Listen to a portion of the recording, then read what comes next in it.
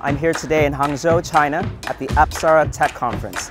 It's actually China's largest tech festival with over 100,000 attendees in the next three days. This festival has been running since 2011 and we're going to check out a lot of amazing tech. Come take a look.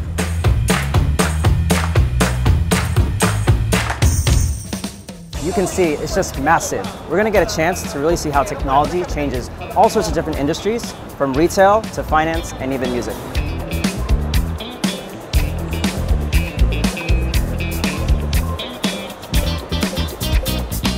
Here we have a car that's using Ali OS and it uses AI to be able to show you what's happening on the road in front of you. The future of fun. We basically created this wall and overlaid light and sensors on top of it to create this game. Alibaba also has a section called Tech for Change. Their goal is to get 1 million women to be able to learn how to code and learn about technology. Here we have an entire wall of different smart speakers all powered by Tmall Genie. Genie, Genie on the wall. How smart do I look today? Hey Genie, it's really hot right now. Can you turn on the fan?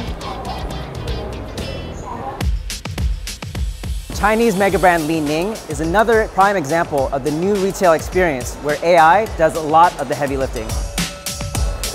So here Li Ning is showcasing some of the technology that they're running with in their smart digital retail stores.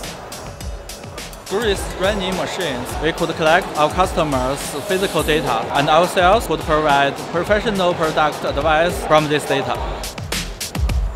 What happens when I take out one of these shoes and there's a camera that's attached to it. So the shoe information comes on the screen and it knows exactly also your preferences and maybe make some suggestions. And one, two, three, smile. Here, my beautiful mug will get anyone a 20% off discount whenever they scan this QR code.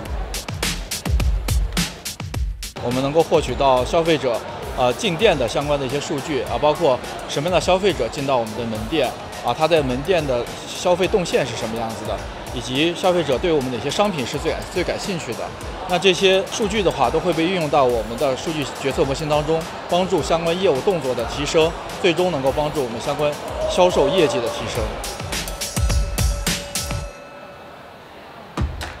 Everything that we saw, touched, and interacted with today learns a little bit more about us to truly create a unique and personalized experience. I can't wait to see how technology changes the future of our lives.